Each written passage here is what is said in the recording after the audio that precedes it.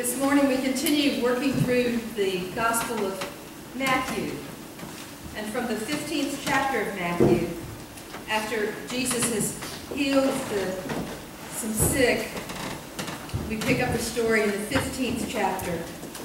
Then Pharisees and scribes came to Jesus from Jerusalem and said, Why do your disciples break the tradition of the elders? For they do not wash their hands before they eat.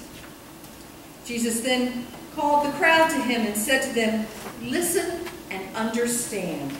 It is not what goes into the mouth that defiles a person, but it is what comes out of the mouth that defiles.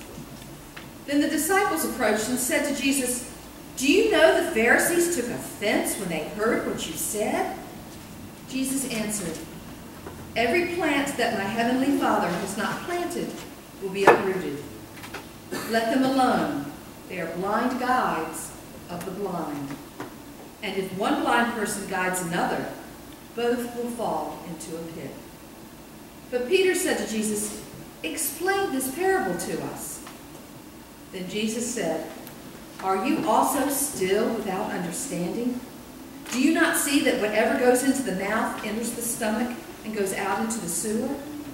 But what comes out of the mouth proceeds from the heart, this is what defiles. For out of the heart come evil intentions, murder, adultery, fornication, theft, false witness, slander. These are what defile a person. But to eat with unwashed hands does not defile. This is the word of God for the people of God. Thanks be to God. Amen. A little dust from um, Friday and Saturday being here, because I didn't bother the dust bunnies at my house. The Pharisees had lots of rules. Now, I used to think my mom and dad had a rule. Lots of them. And they did. But the Pharisees had even more than my mom and dad, which I, until I got to seminary, didn't even believe that was possible. But Jesus says, listen and understand. It is not what goes into the mouth that defiles a person, but it's what comes out of the mouth that defiles. When our middle son Payne was young, uh, I guess he started a pre-kindergarten program for autistic children when he was two and a half. You think it's scary putting a kindergartner on the school bus. You ought to try putting a two and a half year old on the school bus. Jim followed the bus all the way to the school. But every day when the teacher met the bus, she had this big red buggy that had places for six children to sit. You may have seen some of those. Um, and this particular morning, she loaded up the buggy and was headed down the hallway to her classroom. And the principal walked toward them. And as was the principal's custom, she called each of those children by name, looking straight at them, and said, Good morning, so-and-so, and waited for the student to react in some way. Because one of the things with autistic folks is their, their particular children, their difficulty having give and take with, with words. And so when she got around to my son Payne, she said, Good morning, Payne. He heard his name and he looked at her. And she waited for a while to see if he was going to say anything. Well, very loudly, he said a word that began, began with an S and ended with a T. And the teacher said, well, that's good talking Payne, but we don't use that word. Needless to say, I got a phone call that afternoon. The teacher knew that both Jim and I were preachers, and so she was laughing, a big belly laugh. I could just see her on the other end of the phone with tears coming down her cheeks. She was laughing so hard that I didn't really understand the story until she got to the S word. And then I was so embarrassed. You embarrassed? I was embarrassed. I was the color of this. And if the floor of the parsonage could open up, I would have gladly have dropped through it. Was so embarrassed. You talk about a wake-up call about your language. No matter how clean you are on the outside, It doesn't help if your insides are filthy. Jesus wasn't knocking washing hands. Jesus was concerned about the Pharisees' hearts. The Pharisees had become spiritual nitpickers, dealing with little bitty minor issues while ignoring the critical major issues of the day. Reverend Donald Grey Barnhouse was a British pastor at the beginning of the 20th century, and he was invited to a Bible conference in Pennsylvania.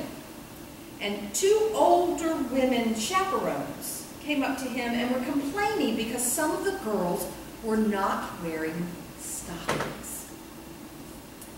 These women wanted Dr. Barnhouse to rebuke the young women.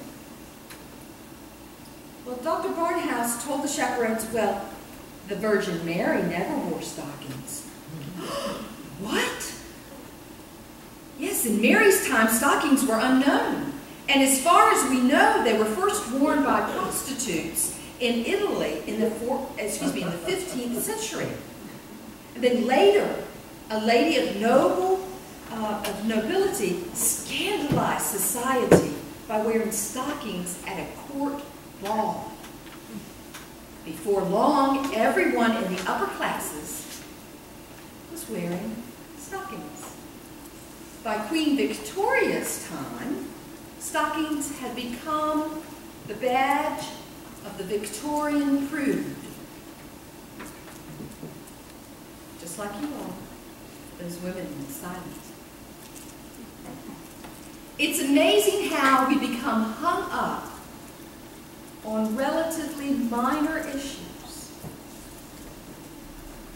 In one of my congregations, purple hair became the spiritual equivalent of murder. I hear people talk. And tattoos, oh my goodness. We won't even talk about that. Legalism strained at a gnat while swallowing a camel. Now, lest you think that Jesus had something against, really against the Pharisees, he approved of many of the things that they did, but not their priorities. Because don't forget, Jesus was a practicing Jew. Every Sabbath, he was in the synagogue. We know that because Scripture says, as was his custom. Even if he disagreed with the preacher, Jesus was there. Even if Jesus knew his fellow worshippers were hypocrites, Jesus was there. Even though there was nothing more Jesus could learn about God, Jesus was there. He was part of the family of believers. For Jesus said, I have come to fulfill the law not to destroy it. Jesus liked some of the things that the Pharisees were doing, but Jesus never countenanced people who patted themselves on the back for keeping the intricacies of the law while ignoring hurting people around them. The Pharisees were building walls that shut people out of God's love. While they were observing all the niceties of their faith, they made their neighbors feel like dirt. Rather than being a unifying force in society, the Pharisees were divisive. Rather than being inclusive, the Pharisees were exclusive. Rather than lifting up people, they made other people feel unworthy and unclean. What the Pharisees did not see was that God wants bridges rather than walls. The Jewish people owed a debt, a great debt, to the Pharisees. For much of what is best in Judaism would have been lost without them. Their insistence on keeping the traditions helped the Jews maintain their identity when they were overwhelmed with the idolatry of the nations all around them. And the Pharisees did this by setting themselves lest we think that's strange, parents confront this conundrum. They want to protect their children. Parents understand that the kind of people that a youth runs around with helps determine their behavior.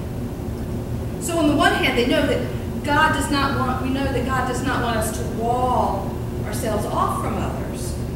But on the other hand, as parents, I was on this too, I, I wanted my teenagers to run around with the good ones It would help keep them out of trouble, It would be a positive influence. And it's a delicate balancing act, which you do. And it's a balancing act that Pastor Mike and I try to model every day. That's what it is. It does no good to have a virtuous life, one that does all the right things, if that just makes you a Pharisee.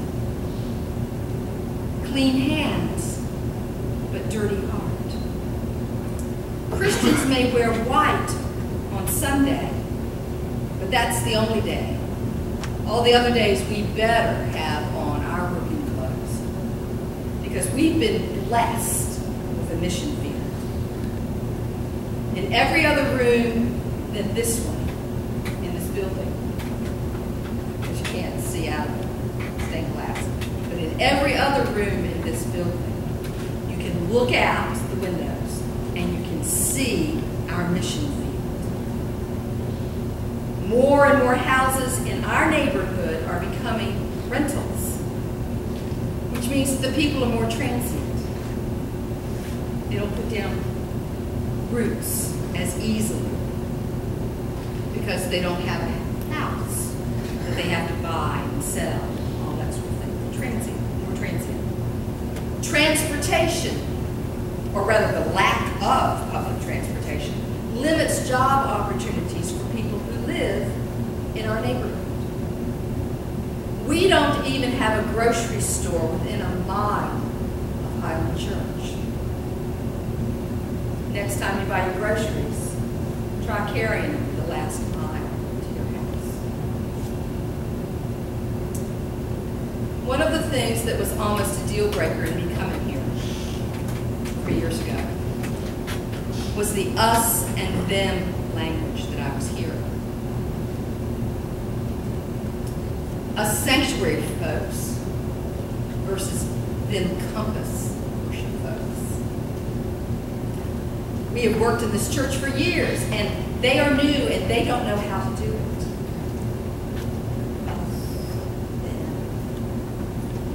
Well, hallelujah, hallelujah.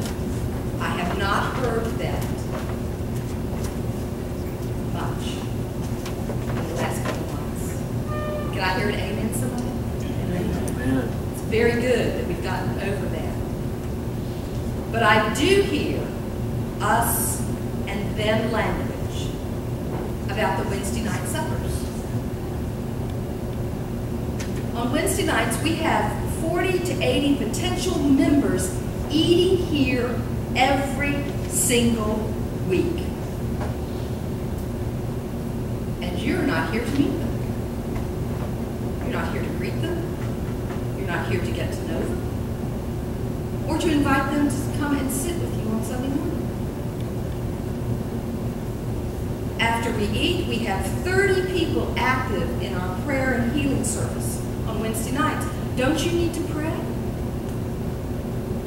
Isn't there some hurt in your life that you'd like God to heal you? Where are you? We're getting ready to launch a new worship service on Monday nights at Dante's Pizza. And it's being called to the Inferno. If you don't hmm. understand why, go to the library and look up Dante's Inferno. Hopefully you get an easy to read English version.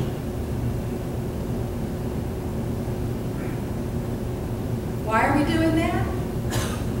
Because there are people in this city